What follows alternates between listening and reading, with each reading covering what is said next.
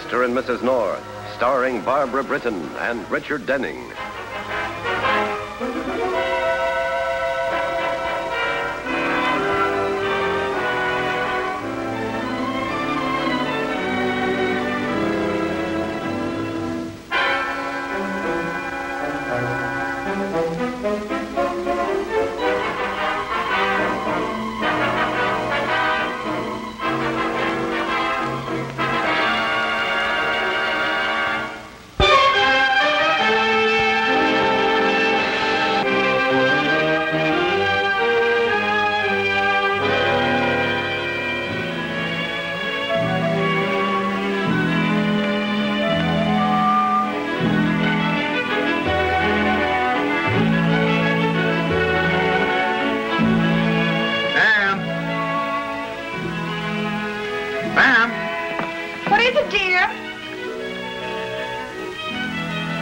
Yet, darling? Practically ready to go out the door, darling. What's the matter with the suit I had on? Nobody complained about the way I looked all day. Do we have to go formal? Well, it's our anniversary. Wouldn't it be nice to look nice? After all, we've been married five years.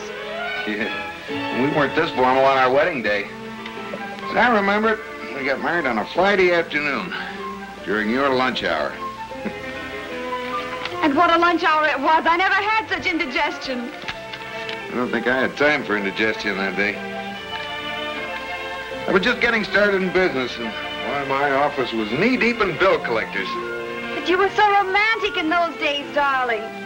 You used to take me to the park on Sunday afternoons and let me listen to you snore on the grass. All ready to go out, huh? Don't you think you ought to uh, wear a hat? I just have to slip into my dress. Just slip into my dress, and you know how long that takes. What in the world have you been doing all this time? You were just like that 15 minutes ago. Now, don't make me nervous. After all, this is our anniversary.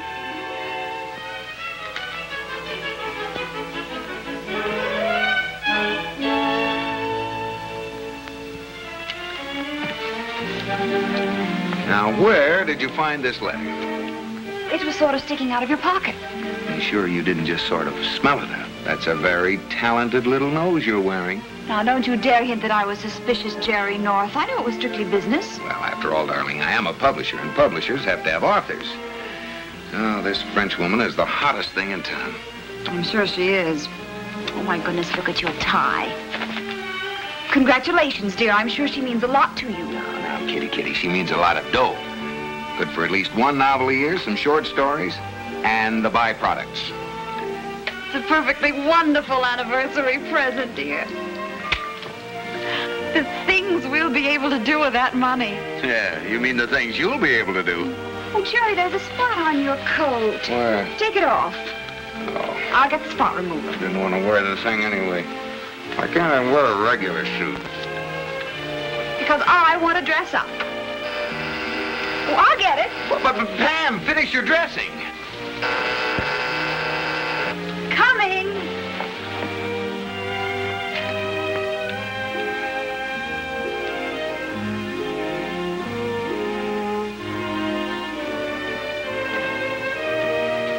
Who is it, Pam?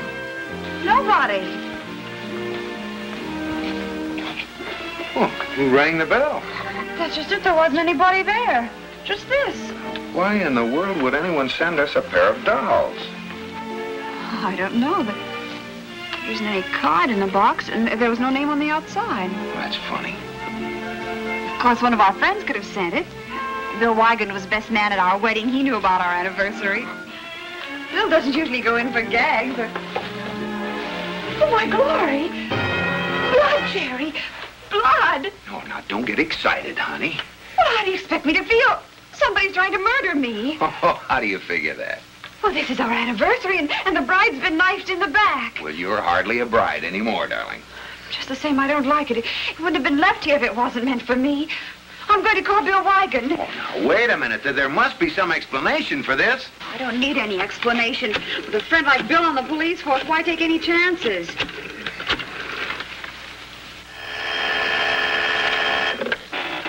Homicide, Lieutenant Weigand speaking. Oh, hello, Pam. Happy anniversary. Uh, Bill, are, are you busy right now?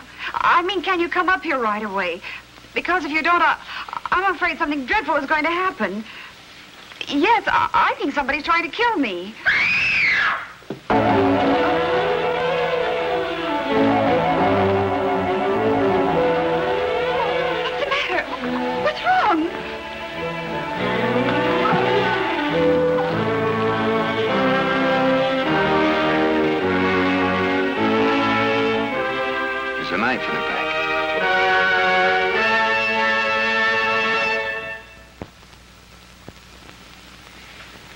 Getting a doctor, Pam. She's dead.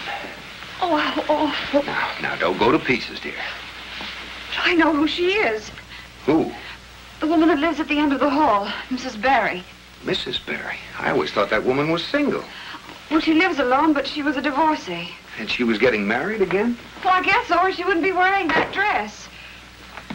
Then those dolls might have been meant for her. That's right. Those dolls might have been meant for her. A- and they were delivered here by mistake. Hello, hello, Now, hello. we'll just find out who... Hello, Golly, what's that? hello. The phone, dear. You left the receiver off the hook. Oh, my goodness. Hello, hello, hello. Hello. Hello, Bill, are you still there? Still here. This receiver's practically growing out of my ear. What happened?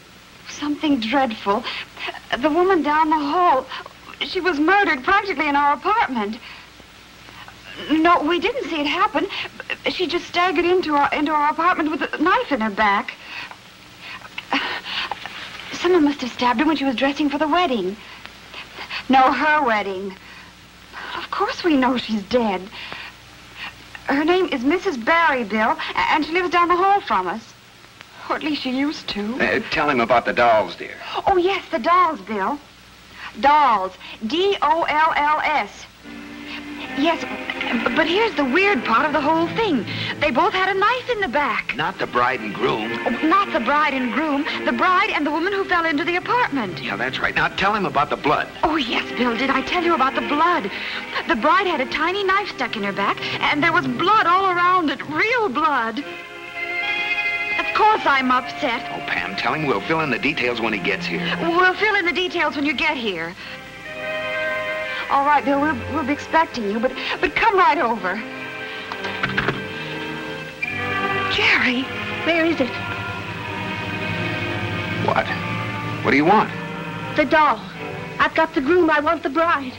are you the one that brought them here? That's beside the point. Just give me the doll. Why? Why do you want it? That's my business. Oh, now, just a minute. You can't come Be in. quiet. They were meant not for you, but for her. What's she got to do with it? It's none of your business. Stay right where you are.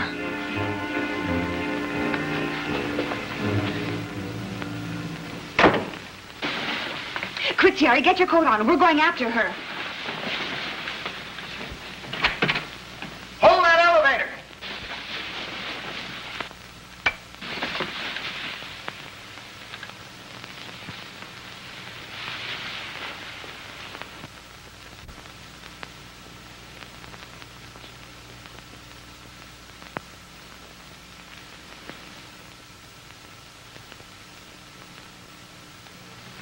Pam, come on.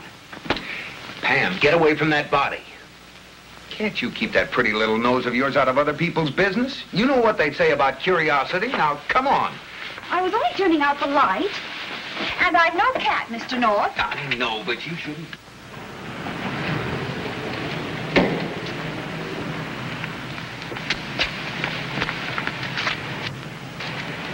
Over there, one of those two brownstone fronts. Someone just closed the door. Come on.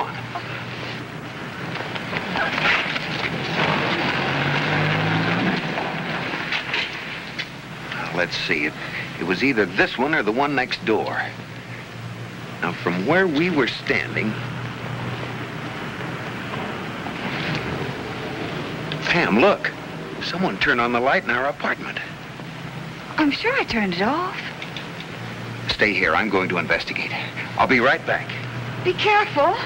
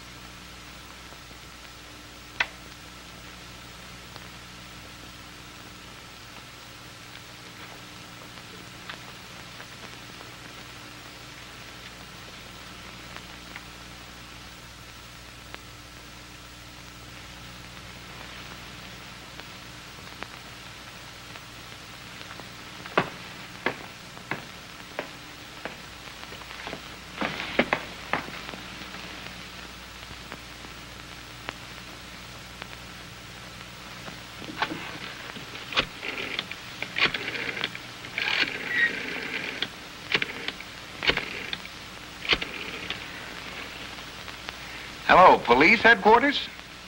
Uh, Lieutenant Weigand, please. This is Jerry North calling. Oh, he's already on his way to my home. Well, then he should be here any minute. All right, don't move or I'll shoot. No, you don't. Missing bridegroom, eh? No! Ah, what's your hurry? Hi, Jerry. What happened to you? I forgot to duck. Come on in, Doc. What do you make of it, Doc? Dead about half an hour. Not much doubt about the cause. I didn't do it. Do what? She was late getting to the church. We were all standing around waiting, so I came back to see what was wrong. You know, a groom never sees the bride on their wedding day. I'll take it easy, mister. What's your name? Gibson, Ray Gibson. We were going to be married. You and uh, this woman here? Yes. I couldn't imagine what was keeping her until I came back and saw her lying there on the floor. Then I didn't know what to do. So you hid behind the screen.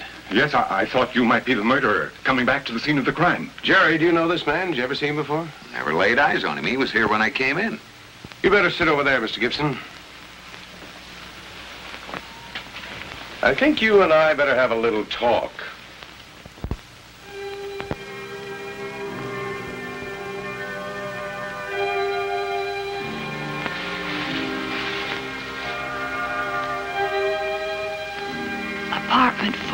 4A. Barry, Edward, and. Louise?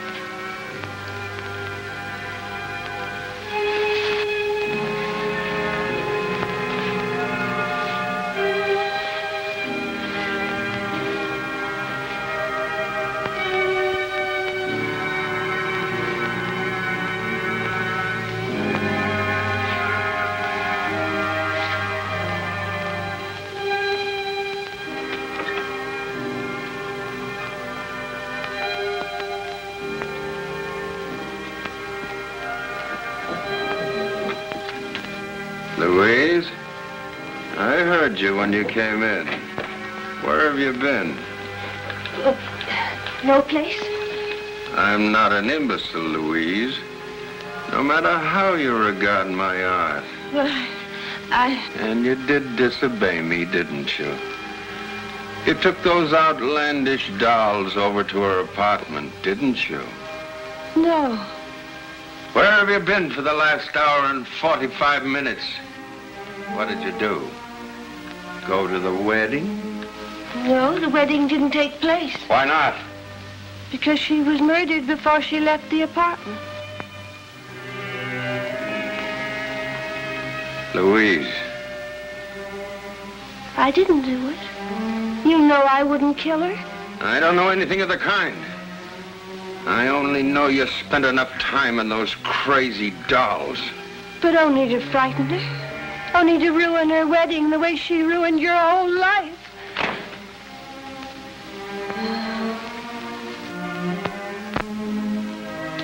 Edward, please, forgive me. Forgive you for what? Disobeying me? Committing murder? I've told you a thousand times I didn't want you to go over there. If you weren't my sister, I'd...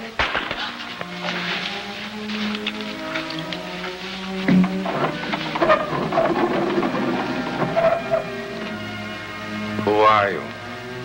What do you want?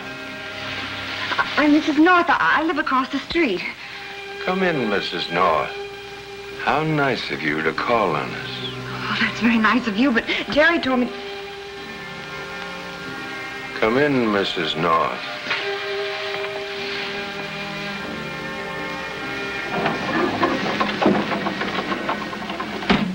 Oh, might have done it. Tell me. It's Mrs. Barry's ex-husband. He's hated her ever since she divorced him. And he threatened to kill her if she married me. When was this? Just last week.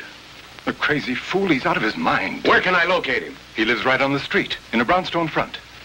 Brownstone Front. Right across the street? Yes. Pam.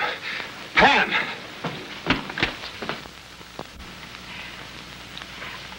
Well, I, I really must be going. You shouldn't have come here in the first place. But I told you, I, I was looking for a woman who took something from our apartment.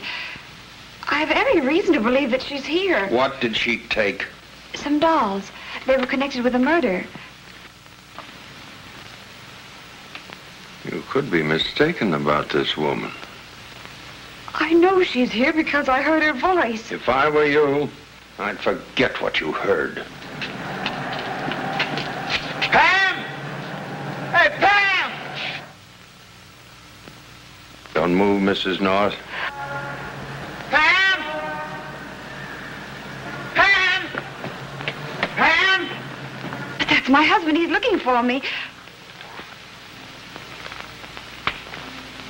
Well, tell him where you are. Pam! Pam, answer me! Jerry!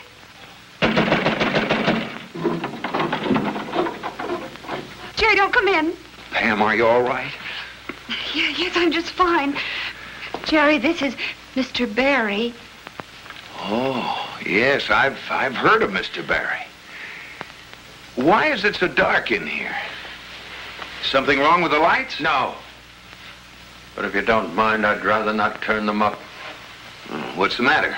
Afraid someone might get a good look at your face? Yes. Several years ago, I was burned in a fire. Oh, I'm sorry. You needn't be. Nobody else is. Won't you sit down, please?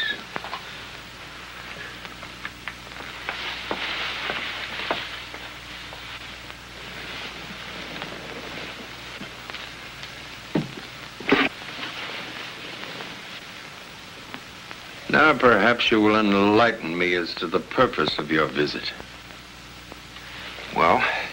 Well, tonight a woman was murdered, practically in our apartment. That still doesn't explain your visit. Do you live alone, Mr. Barry, or are you married? I was married. And I'd rather not talk about my wife. She was in the fire, too. Oh? That's how I burned my face, trying to drag her out of the flames. And you didn't succeed? On the contrary, I saved her life. And she rewarded me by getting a divorce. Then you are the same Mr. Barry. I mean, What do you mean? Well, she means that your ex-wife has an apartment in our building, and that it's quite possible that you murdered her. Almost anything is possible, Mr. North. But I haven't seen my ex-wife in years. But you have seen the woman with the dolls. She lives right here in this apartment. Don't be absurd. Then why is there a woman's name on the mailbox downstairs? Who is Louise Barry? My sister. Well, where is she? We'd like to see her. Stay where you are, Mr. North. Oh, so you were lying. And that whole story about the fire and saving your wife was just an alibi to cover up what you know about the murder. Don't be a fool, Mr. North. I told you the truth about the fire and everything else. Well, you did. Well, let's see.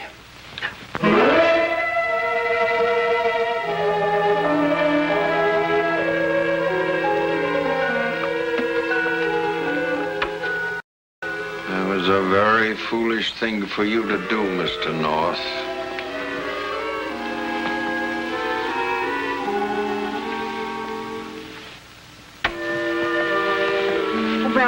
Be leaving now. But I'm not going to let you go just yet. Let us go. There's no time to explain, Mr. North. And I wouldn't advise you to make a move. What are you going to do? Make sure that you don't notify the police. But you can't get away. Stay where you are, Mr. North. Don't make a sound. I'll be through with you in just a few minutes. Ah, stay there. Sit down. Do as I tell you. Sit down, Mr. North, Okay, okay. and stay there. Louise, get my money out of the dresser and put on your coat.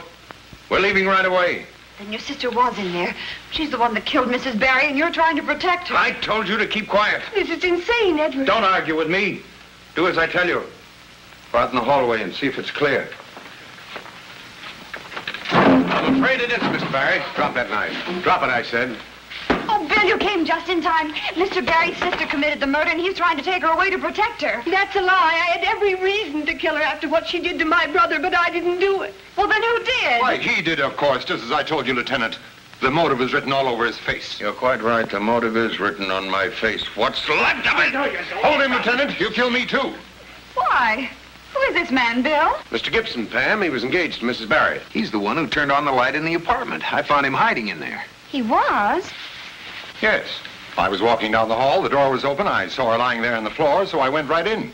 Oh, that's very interesting, Mr. Gibson. What? The fact that you saw Mrs. Barry's body through the open door of our apartment. If that's your story, it's not a very good one. And what do you mean by that, Pam? When we left the apartment, we closed the door. Well, somebody else must have opened it then. Probably him to make sure she was dead. I haven't left this studio tonight. Can you prove that? I can. My brother never left this house. How would you know? You were in our apartment two minutes after Mrs. Barry was murdered. There, you see. Bill, Uh, not now, Pam. Please, please. Lieutenant, you saw that knife in his hand when we came in, and my fiancée was killed with a knife. Fingerprints will solve that. And they may be his. Bill, will you listen a moment? Just a Pam, dear. Now, why would I want to kill her? I was going to marry her. Lieutenant, that poor woman is lying there on the floor while you stand here trying to figure out a case that's as plain as day. Don't try to tell me my business, Gibson. Well, somebody ought to. I'm going back across the street. I'm afraid that's no good. The coroner's there now. Look, look. What is it, Pam? What do you... Newspaper clipping. Oh, for heaven's will- sakes. I have no time to read the news. Lieutenant, now. anytime you want to find me, I'll be at my home, 123 Fifth Avenue. And just make sure you don't try to leave town. How are things in Philadelphia, Mr. Gibson? What's that? I said, how are things in Philadelphia? Pam, dear, what are you talking about? This. Look, Where'd you get this news clipping? it was clutched in Mrs. Barry's hand when she died. Hmm. So, Just a minute, you. so that's what you were fussing around the body for. Hmm. Gibson, huh? You're Joe Marcus, swindler, confidence man. And bigamist.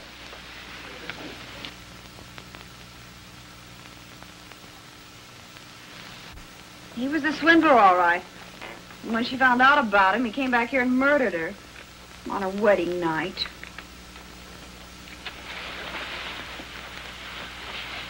Jerry, are you listening to me? Yeah, yeah, I'm listening. Well, darling, what's the matter? No, I'm just disgusted, that's all. Here I got into this monkey suit, and we planned to have such a wonderful evening. What happened? Our whole anniversary's ruined. Oh, I wouldn't say it was ruined almost 2 o'clock. What can we do now? Jerry, don't be such a grump. After all, there are lots of ways of celebrating an anniversary.